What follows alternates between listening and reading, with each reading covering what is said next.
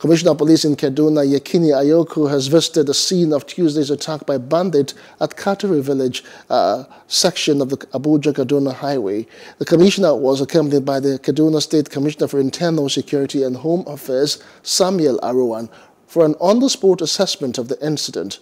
According to a statement by the spokesperson of the police command, Mohammed Jalige, the commissioner expressed sadness over the unfortunate incident and promised to redouble their efforts to build on the recent safety enjoyed by road users.